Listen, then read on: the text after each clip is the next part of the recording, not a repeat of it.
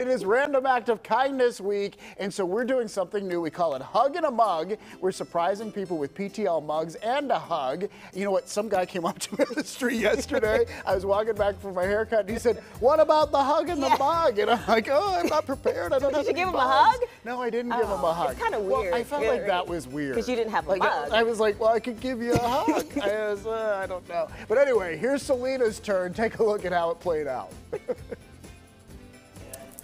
Hi, everybody. For our random act of kindness today, I'm going to give my new friend Angel one of our PTL mugs. I know you like the show, Angel, so now you can enjoy some coffee while watching us. Thank you so much.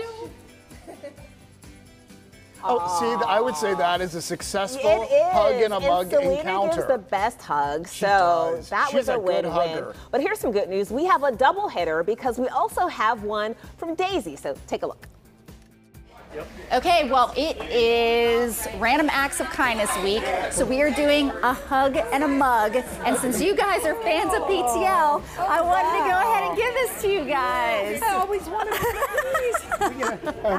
Thank you so much for watching PTL. Oh, we love it. Oh, can hardly. cute. Oh, look at that. I got one you didn't. it's Oh, great. Oh, we should have given you. them both one. That's not fair. That was so great. They're going to fight over that mug.